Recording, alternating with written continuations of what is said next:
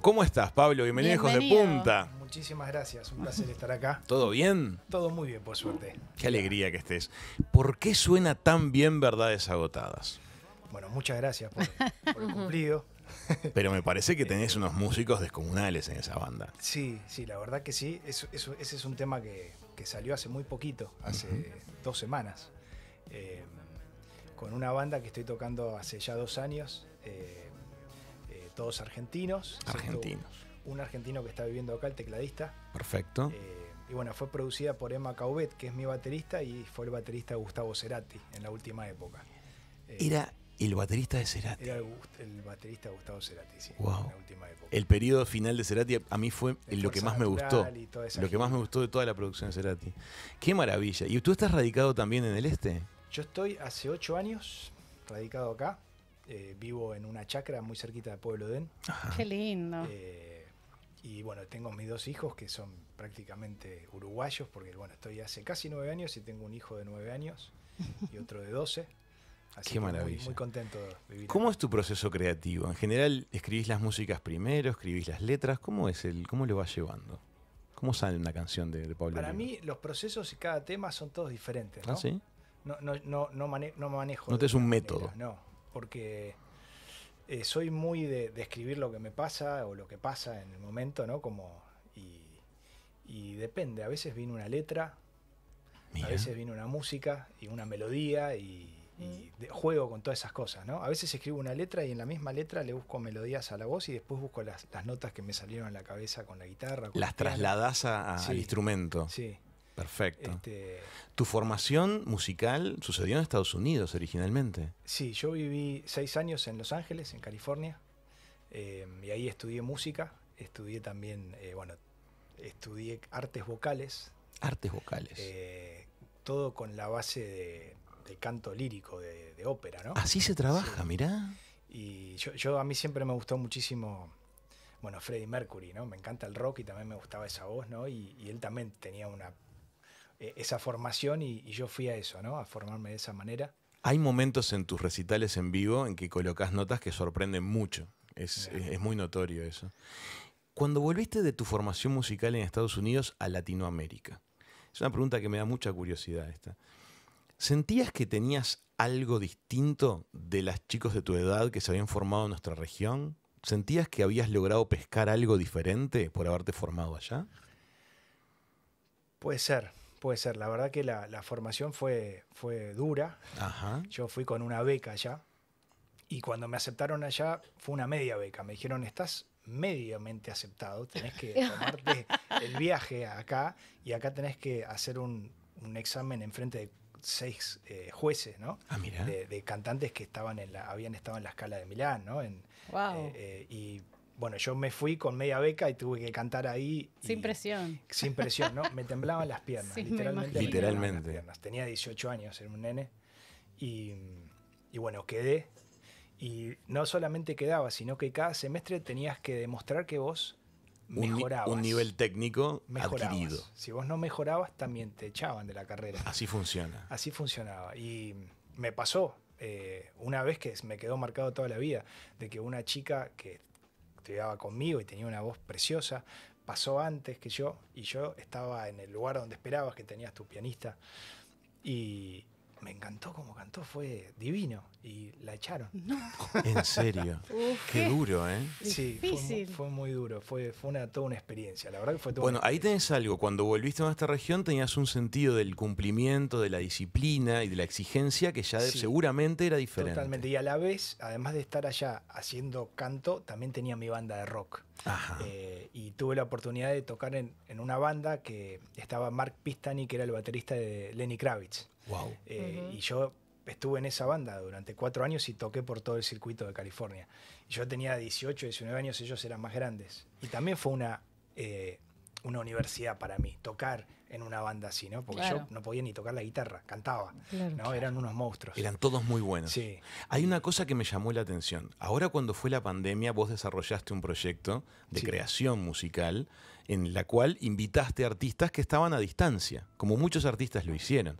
Pero claro, Se ve que tu agenda de teléfonos es muy particular. Claro, eso te quería preguntar. mira. O sea, ¿cómo, cómo Sí, llega eh, sí. alguien de la talla de Manu Cache a Sí. tu.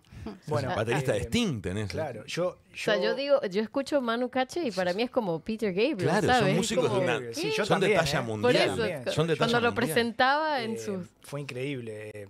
Esas cosas que se dan en la vida, ¿no? Y no fue por mí, yo esa agenda no la tengo. Ajá. Eh, vamos por ahí. Eh. Yo agarré y... y O sea, no un- te emociones, Raúl. hice- Yo soy, hice- soy- sí, No te va a dar hice- un disco nuevo que ya lo tenía eh, armado, todo lo compuse en, en Pueblo Den, Todo en Pueblo Den. en pandemia, y viste como uno maquetea los temas, ¿no? Que tenés los temas que le pones la batería, los Sí, que estaban sí, sí. armados. Y cuando los tenía, cerré con una productora que se llama 025 Ok. que es una productora que están en Miami, están en México, muy fuertes, en España. Y hay uno, yo los conozco muy bien a ellos, son amigos míos, uno de, los de ellos es Sebastián Palacios, que es un loco, Ok. que siempre esos chicos, esas personas que están más allá de, Sí, de sí. las cosas. Que en el arte son muy importantes. y, y él fue, él me dijo, pará, estamos, tan, tan, to- estamos todos encerrados. Este, y los conocen, obviamente ellos producieron temas para Manu Él sí tiene la ellos lo llegada. trajeron a, a- a México, a Estados Unidos, conocen a muchos artistas de esa talla, ¿no? Y bueno, fue Sebastián que habló con él y... Y esos, que- esos músicos de gran trayectoria, le contamos para los que no estén al tanto, que nos están escuchando, que realmente armó una especie de Dream Team con músicos de categoría internacional para tocar sus temas.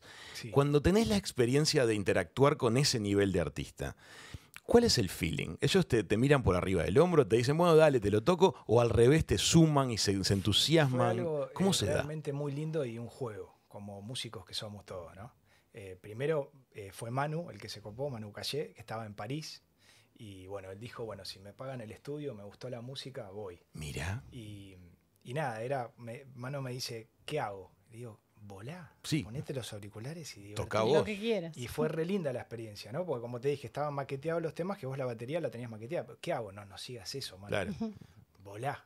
Y así fueron con todos, y era muy lindo la vuelta del material, ¿no? Porque Manu volaba y, y abríamos la- las, la- las grabaciones, ¿no? Y era, era divino cómo iba creciendo los temas, ¿no? Crecen. Sí. el aporte de Claro, músicos de pero esa también categoría es muy crece. positivo que te digan haz, ¿no? Sí, Claro. Porque es muy difícil cuando te dicen, bueno, sí, pero tienes que hacer. Es y, que y lo sorprende a veces eso, a ¿no? Que te gusta- buscas un, claro. un mega talento, pero le quieres decir cómo hacerlo. Me parece muy lindo, obviamente, un mo- monstruos como ellos, ¿no? Y, y que ya escuchan el tema en una maqueta, después está bueno, vuelen, o sea, Claro. Apórtenle Y- lo que quieran. Claro, y así como él, fue como una, se fueron juntando, ¿no? Grabó Manu, después conseguimos con Daryl Jones, el bajista de los Rolling Stones, que estaba en Nueva York, y también Daryl se copó. Y después estuvo Justin Brown, que es el baterista de Thundercat, que también grabó con Sting, que también que las, Otra cosas, bestia. las cosas que hizo Justin eran fueron increíbles. Qué después alucinante. estuvo Michael Leake de, de Snarky Papi, el bajista también, que divino. ¿Cómo copó. se llama el disco que terminó dan- tomando forma Justamente se llamó A la distancia. a la distancia? O sea que si entramos a Spotify y buscamos a la distancia, Está todo ese ahí está todo ese material que son composiciones tuyas ejecutadas por toda esta selección de músicos del mundo entero. Exactamente. ¿Y cuál todavía tienes pendiente? Por ahí algún nombrecito que digas a este lo tengo, me encantaría trabajar. Bueno, eh, este personaje de Seba Palacios estaba hablando con el baterista de The Police, Con Mm. Stuart Copeland. Stuart Copeland. Y Me estaba muero. también que se copó y casi hacemos un, un cover de Héroes del Silencio con él. Ah, Qué bueno. quedó ¿Y te quedó pendiente? Sí, sí. ¿Qué Está les parece, chicas, si escuchamos una canción acá en el propio estudio de Hijos de Punta Sí. por parte de. Pablo? Bueno, ¿Te acomodás, Pablo, y nos regalás una canción? Bueno, voy a hacer una canción que justamente acá, en, en- en Uruguay, además de todos estos monstruos, yo soy muy amigo de Chico César. Ajá, el brasileño. y Lo Sí. entrevistamos en el programa. Que se quedó en, pandemia acá. Cuando vino a tocar este, a medio y medio junto con, este, con Kevin Johansen, si no, vino Paulinho con Mosca. Paulinho Mosca, los entrevistamos a los dos juntos, Mirá. a Paulinho y a Chico. Bueno, Chico se quedó un tiempo acá Sí. y en este disco hicimos un dueto juntos. Perfecto. Lo voy a hacer ahora, que se llama La Distancia y voy a, voy a cantar en portugués como siempre. Maravilloso. Se acomoda Pablo Oliva. Mientras tanto les contamos que eh, Parador Medio y Medio, dentro de su ciclo Medio y Medio todo el año, está organizando un recital espectacular de Pablo Oliva para el viernes 10 de noviembre a las 9 de la noche. Les invitamos a todos a que estén presentes allí. El sonido de la banda de Pablo es descomunal, es otra selección de músicos de nuestra región en este caso. Va a estar con Emma Caubet en batería, Fede Palmonela en bajo, Guido, Guido Bricioli y Gastón Saya en guitarras, Cristian Vivaldi en teclados, Agostina Bruno en los coros. Otro Dream Team local, así que vamos a estar disfrutándolo este, allí en, en medio y medio. Pablo, ¿estás listo? ¿Cómo no? Vamos a disfrutar de Pablo Oliva.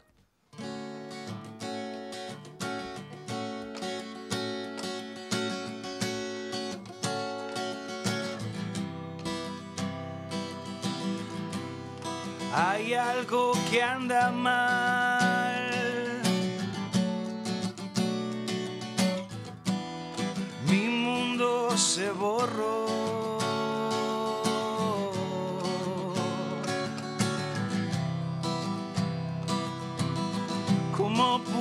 Pasarme a mí?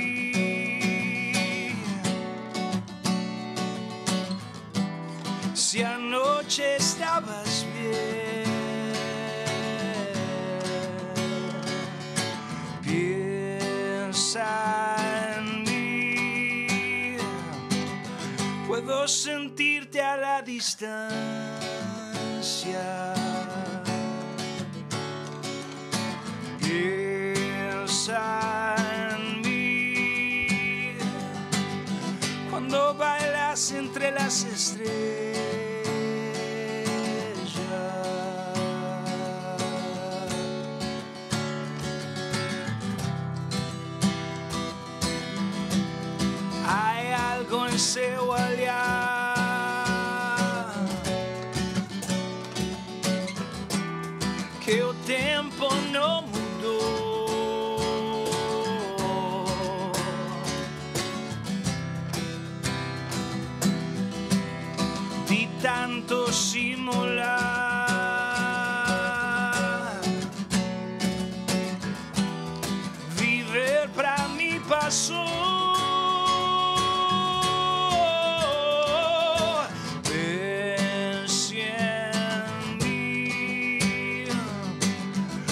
Posso sentir mesma distância.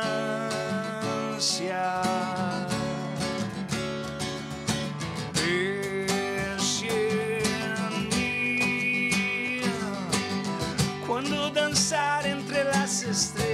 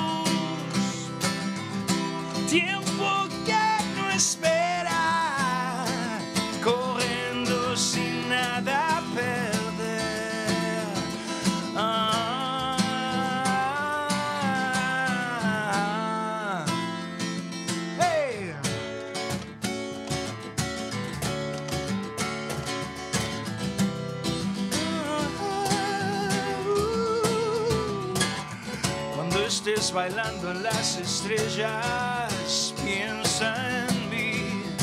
Puedo danzar entre las estrellas, puedo sentirte a la distancia. Tiempo que no espera, tiempo que no espera.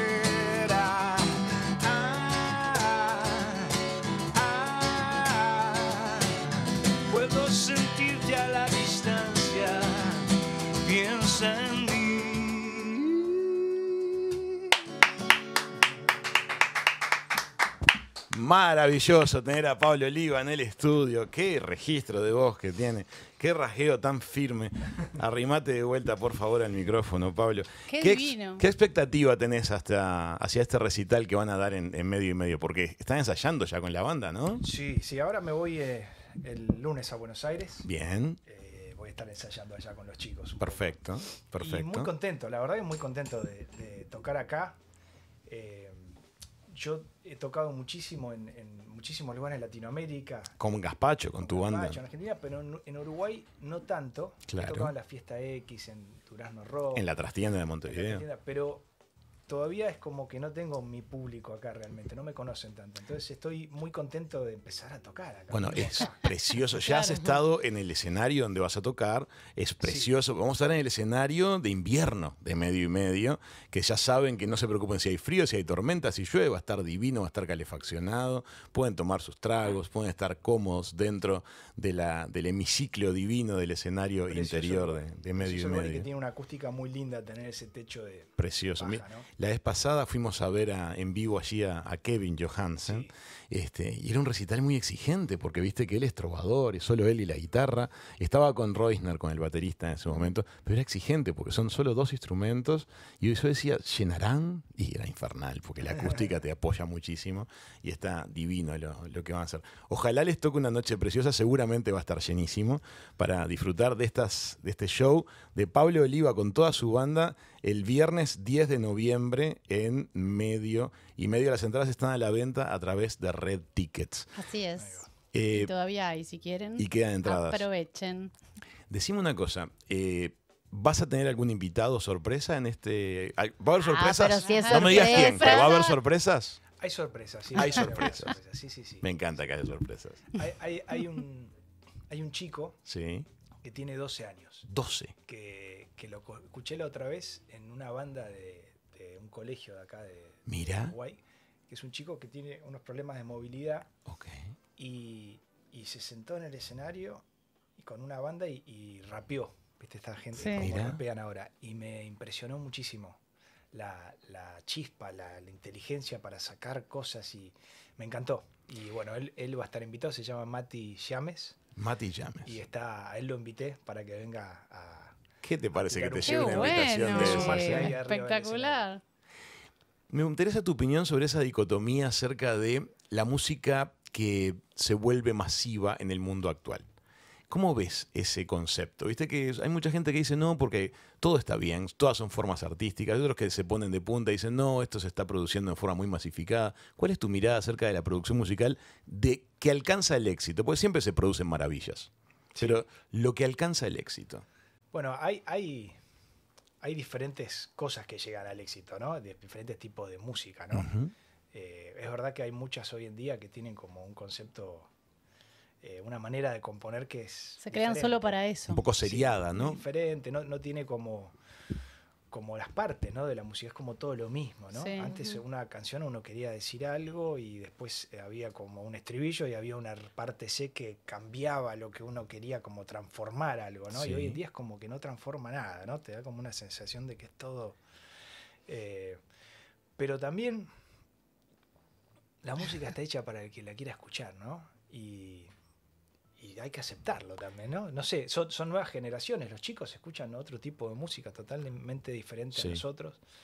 Eh, yo creo que hay un poco que aceptar y también creo que también es un poco también es culpa de las discográficas, los que le dan el espacio nada más que a eso. Entiendo. Eh, me parece que hay un poco de las dos, ¿no? Mm, Hay un poco de las dos. El otro día escuchaba una, eh, estaba reflexionando Drexler sobre este tema, le hacían la pregunta y mm, él valida todo. Dice que bueno, que son nuevas formas musicales, si a la gente las disfruta, si la gente las valora. Él a la vez sí sembraba una alarma en cuanto a la pérdida del ADN de ciertas Sí. propuestas que uno no tiene claro Es quién lo creó. Tu pregunta me hizo pensar un poco precisamente que lo habíamos, habíamos hablado de él, de, de Peter Gabriel. Es un poco, bueno, ¿quién sería? el- evidentemente sigue vivo, pero ¿quién viene a ocupar en la actualidad ese espacio? O sea, ¿quién es el que está haciendo esa experimentación o esas cosas? Porque yo creo que Las tú búsquedas. escuchabas eso y decías, oh, esto nunca lo he Acá escuchado aparecieron antes". novedades. Exacto, lo sentí, a veces hasta muy volado que decías, bueno, Peter, puede no no sé gustar. si, exacto. Pero me pregunto quién está haciendo Las eso investigaciones. hoy. Yo te Exacto. digo, Pablo Oliva. Somos, somos algunos que lo estamos haciendo, pero, pero no es. Eh, nosotros cuando éramos chicos, Peter Gabriel a nosotros no- sonaba en la radio. y- exacto. no hay esa. Sí, la eso, difusión mainstream está direccionada hacia productos a lo que, te- ya que funcionan, ya pero está no a la a experimento. También hay claro. cosas que, que también llaman la atención, ¿no? Porque 025, esta productora, por ejemplo, hace cosas en Argentina también, ¿no? Hace shows. Y ellos traen, por ejemplo, gente que no está sonando en las radios. Ajá. Eh, y, y me llaman, la, eh, me- la otra vez me contaban que hay shows así de, de- de que no son, viste, masivos o no suenan en la radio, pero hacen un show y explotan. O sea, Hay una curiosidad de la gente. hay gente que por más que uno no lo escucha en la radio o en el boliche, están consumiendo esa música Claro. también. Ahora. Están ¿no? buscando. Sí, pero es cierto. Ha o sea, cambiado la eso. manera de, ¿no? I- igual yo creo que y debe pasar, eh, o sea, siento que pasa en otro tipo de artes también. Yo que soy artista visual, a veces me pasa con ciertas galerías que se van como, bueno, por ya los artistas seguros, o sea, los grandes maestros o las grandes cosas que ya sabes que si los presentas vendes y llenas Claro. Y no quedan tanto esos espacios como para los artistas que de repente Que se están la investigando, o sea, buscando cosas. difícil es tener una galería o una discográfica que apueste al que todavía no es el reconocido Que no ¿sabes o reconocida, también? ¿no? Eh, em, la- las grandes corporaciones por la música, por ejemplo, apuestan mucho al consumo de los chicos, que es Mm. los que más compran. Ajá. Y pasa mucho eso, ¿no? Eh, yo creo que pasa muchísimo eso. Claro. Eh, yo estuve, cuando yo vivía en, en- en Los Ángeles, me vine para, para Argentina en, en 1999 y, y fue elegido como el artista del nuevo milenio. En un ¿Tú? Sí. Fuiste elegido el artista hicieron- del nuevo milenio. Hicieron como un, un- un sorteo, no sé. un- y bueno, yo gané y toqué en el Chateau Carrera, en el Estadio de Córdoba, Ajá. con Charlie García y con Spinetta. ¡Qué experiencia! Wow. Fue, sí, fue increíble. ¿Vos qué edad tenías? Yo tenía 22, 23. ¡Wow! Y Era entrada a la cancha grande. Bueno, pero él está haciendo pay forward. Fíjense que Fue- invitó fue a este chico de pero- 12 pero- años también. Sí, está muy bien, ¿eh? Sí, Muy bien. pero bueno, yo estuve ahí y ¿qué pasó? Me vio Cris Morena. No. Sí. Y a raíz de eso yo estuve un año trabajando en una telenovela que se llama Chiquititas. ¿Vos estabas en Yo estuve en chiquitita? Chiquititas un año. Qué glorioso. Y, y ahí vi lo que es el consumo de los chicos, ¿no? Como, como la- el, el disco más vendido del año, de todos los años que estaba Ch- Chiquititas, era Chiquititas. Sí. Claro. No era Charlie. Eso lo explica todo. No era. eh, Habías tocado con Charlie Claro. y lo que se vendía era Sí. chiquitita. Es Yo glorioso creo que esa eso cada vez se hizo más y Muy más, buena anécdota. más para ese lado, ¿no? Sí, más para el marketing y para lo que consumo los masivo. chicos consumen, Lali. Sí, sí. Te entiendo. Creo que ¿Nos regalas una canción más, Pablo? Claro que sí. Vamos para adelante. Gracias. Amigas, amigos, este, mirá vos así que chiquititas, no la vi venir eso. Yo le veía cara conocida. Sí. Yo miraba. Me imagino, sí, sí, es como que quedás ahí un poquito encasillado a veces. Sí, aquí lo esos- veo, ¿eh? Sí, sí, sí. ¿Sí? Ay, Mirá, Sí, ya estás sí. googleando. Ya googleé, hay que googlear. Pues decía, si esta cara la he visto. Vamos a escuchar a Pablo. Voy a hacer una canción que se llama Sin Culpa. Vamos. Y te invito a tocar también. Ah, bueno, dale, me sumo.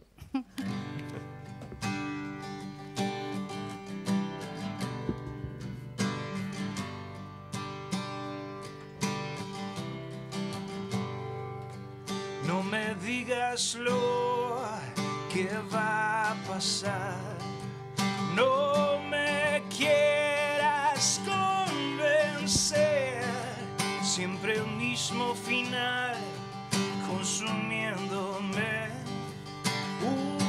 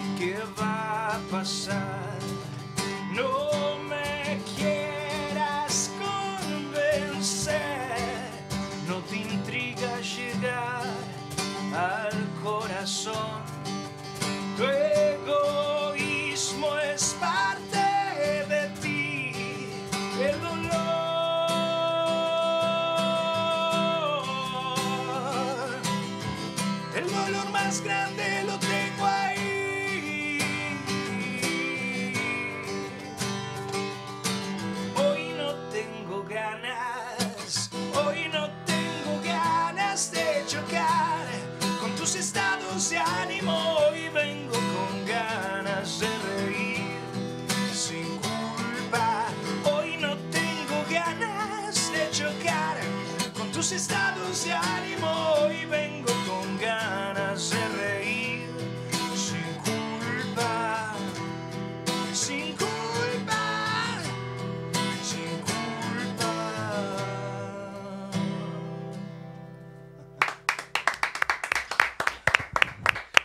Pablo, muchísimas, muchísimas gracias por haber venido, por regalarnos tu arte. Invitar a todo el mundo a que se sume a la noche del viernes 10 de noviembre a las 9 de la noche en el escenario cerrado de medio y medio a pasar una linda noche Entradas de por música. Red Tickets. Entradas por Red Tickets. Pablo, muchas Allí gracias. estaremos. Un placer, gracias por la invitación y bueno, los espero a todos ahí el, el viernes que viene. Fantástico. Amigas, amigos, ¿qué les parece si hacemos el pantallazo? Ya venimos con más. Vamos.